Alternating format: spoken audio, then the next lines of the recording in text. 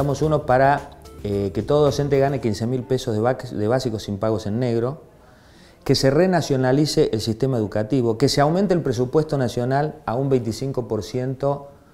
en base a la suspensión de los pagos de la deuda externa y que se deje de subsidiar a la escuela privada. Presentamos otro proyecto de ley para que los corruptos vayan presos, que se le invierta la carga de la prueba y todo funcionario o empresario sospechado de corrupción debería presumirse que es corrupto y que sea él en todo caso que demuestre su inocencia. Mientras tanto, prisión preventiva y que se le embarguen los bienes.